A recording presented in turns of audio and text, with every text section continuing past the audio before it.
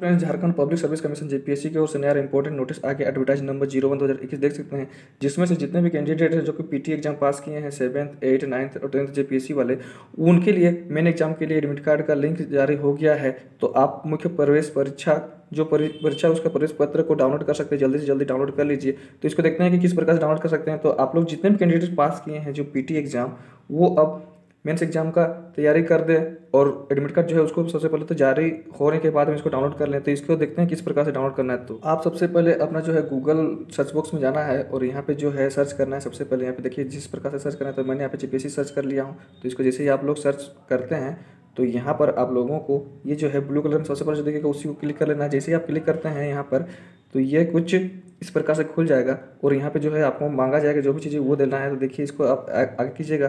तो यहाँ पे आप लोग देख रहे हैं, ये जो है मेन एग्ज़ाम के लिए एडमिट कार्ड का ऑप्शन दिया हुआ है। तो इसको आप लोग सिंपली क्लिक कर लेके जाएगा जैसे ही आप लोग इसको क्लिक करते हैं तो आप लोगों को कुछ इस प्रकार से खुल जाएगा। आप यहाँ देख सकते हैं जेपीएससी लिखा हुआ है एडवर्टाइज नंबर ज़ीरो दो तरीके से download admit card hall ticket दिया हुआ है। यहाँ roll number date of birth और इंटर कैप्चर डाल लेना है आपको। यहाँ पे जो भी चीज़ें हैं साफ़ साफ़ डाल लेना है।